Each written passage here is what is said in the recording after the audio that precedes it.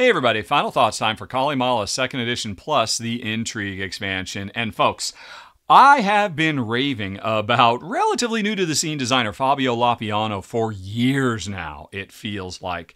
Uh, you know, ever since, oh, I think it was back in 2020, is that right? When um, I first played Ragusa which I thought was fantastic. And then in 2021, there was Zapotec. And then there was Merv. Or did Merv happen before Zapotec? I remember. I think it might have been Ragusa and then Merv, then Zapotec. Whatever. That was an amazing triple feature, back to back, phenomenal designs that Jen and I absolutely adored pieces.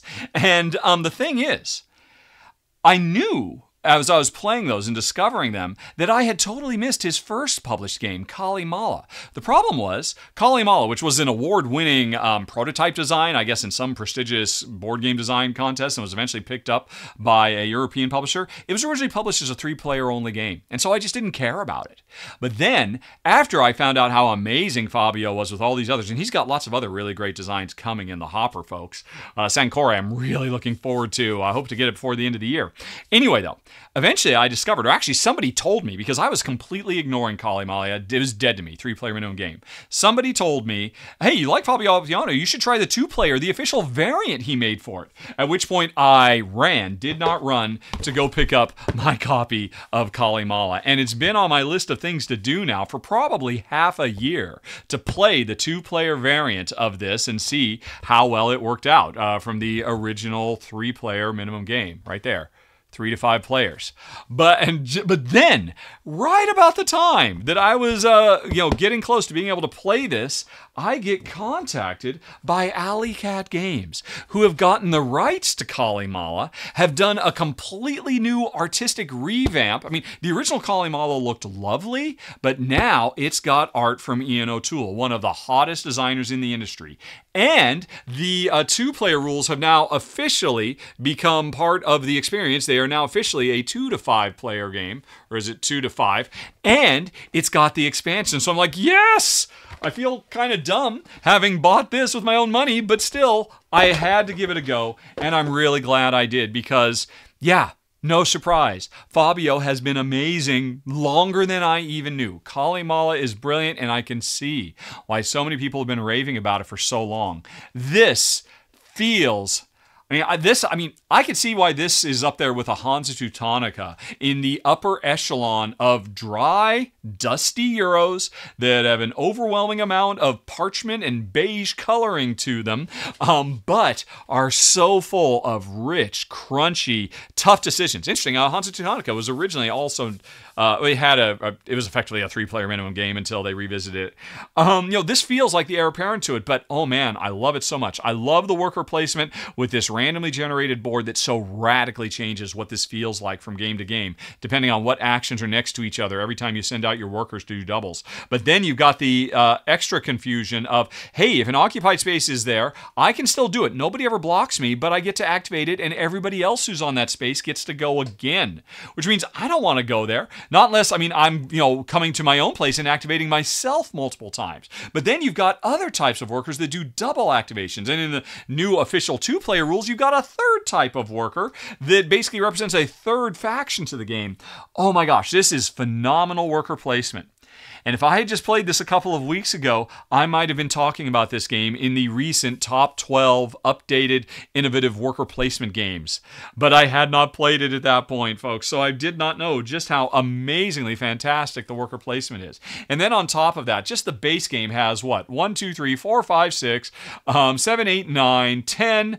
11, 12, 13, 14. I think I might be counting wrong. I might have missed a few. I believe 14 different unique, no, I guess 15 unique um, area control battles all going on simultaneously. And every time you set up the game, they are going to get resolved in a randomly generated way. So, you know, the ones that are going to get resolved at the end of the game, you could, oh, I'll worry about that later. I'll make an investment now so I don't have to worry about it later. But I've got to worry about this now because this one is about to score 15 different ways to score area majorities um, with all these different things where you're trying to grab, you know, harvest goods, convert them into, um, you know, uh, uh, other to, to convert them into infrastructure so you can become better at harvesting or delivering and all this kinds of stuff. It's freaking brilliant, all driven by an absolutely wonderful worker placement scheme that is really innovative. You know, arguably, you know, top tier innovation. And then So, I'm just talking about Calimala there. The original um, with you know the uh, the the, the little independent release, although also with this new one. But now this new version is also going to come with intrigue that so takes this game to the next level. Turns were already always very big and very satisfying in this game because you always get to do at least two things, sometimes four things, and often you get to do uh, a couple of things when it's not your turn and somebody else, and they activate your stuff. So this game is always full of big momentous moments and a really huge sense of velocity. But now that every turn instead of doing a minimum of two actions, you're doing three actions because of these new intrigue things that get seeded onto the board as well. And the, you know these intrigue things can you know affect long-term scoring. They can affect uh, you become additional area majority things or different ways to manipulate the existing area majorities. Um, never mind the fact that it also adds unique player powers that did not exist in the game before. Wow this so rockets into the stratosphere. Now one thing i will warn folks do not have your first game of Calimala be Calimala plus intrigue. Because just regular Calimala already has so much stuff going on, especially if you're playing two player where you have three unique types of workers instead of two. Two player Calimala was already a big, uh, complex, simple and elegant game, but with so many moving pieces that you had to keep balanced and sacrifice short term gains for long term gains and all of that. But intrigue so takes it to the next level. So I'm so excited for folks who have been fans of Calimala for so long, and now you're going to get all this extra stuff. You know, it's it's phenomenal. Now, I should say that um, while I have been amazingly impressed by everything Fabio has done, and I look forward to what he's doing in the future, how do I rank this amongst his other ones? If there's one thing that makes this game not for me and Jen, no matter how brilliant the core worker placement system is and you know holding on to secret objectives that eventually have to become public in time for other players to respond and all that, there's so many great ideas here. At the end of the day, this is area majority, area influence overload. It's so many individual little battlegrounds where we're just trying to eke by and ah, you thought you had that and you were going to get your big bonus, especially now with intrigue. I really invested to get a big bonus and nope nope. At the last minute, I snuck in and you know pulled all those points away from you.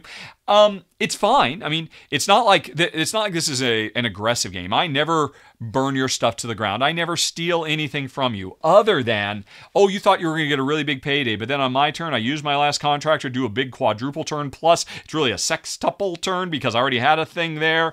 Um, and so I, you know, I, I just swooped in and I trigger the scoring and I get the big points you thought you were going to get. But hey, that just means you got less points, but it's, it's fine. But still, this is a game all about every step of the way. How can I outwit you? How can I beat you? How can I take all the work you've done and um, weaken it so that I can sneak in ahead of you?